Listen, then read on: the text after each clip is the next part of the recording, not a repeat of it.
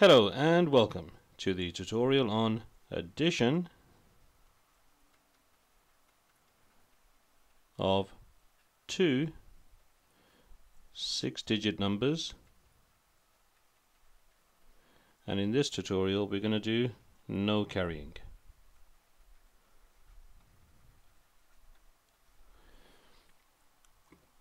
Addition of two six-digit numbers with no carrying.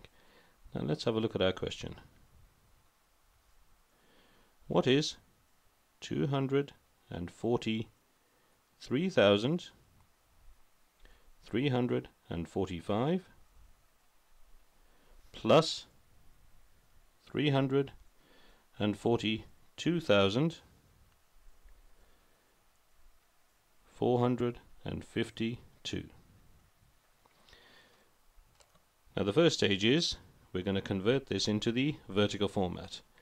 So let's do that.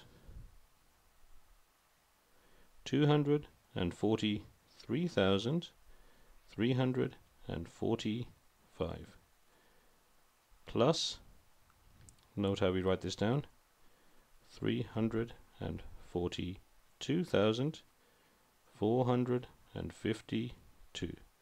And note how we've written this down in nice neat columns. That is the key to doing this question. So what we have done so far is that we have converted the horizontal formatted question into the vertical format. And now we are simply going to add the columns one by one, starting with the column on the right hand side first. The units column. Here it is. 5 plus 2 is 7. The tens column. 4 plus 5 is 9. The hundreds column.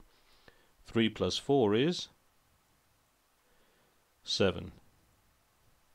The thousands column is 3 plus 2 is 5. The ten thousands column is 4 plus 4 is double 4. That's right, it is 8. And finally the hundred thousands column, 2 plus 3 is 5. And we have our answer. Let's write it down here five hundred and eighty five thousand seven hundred and ninety seven. So the numbers may have been large, but using the vertical format, we managed to do it. That is correct. So that is how we do addition of two six-digit numbers with no carrying using the vertical format.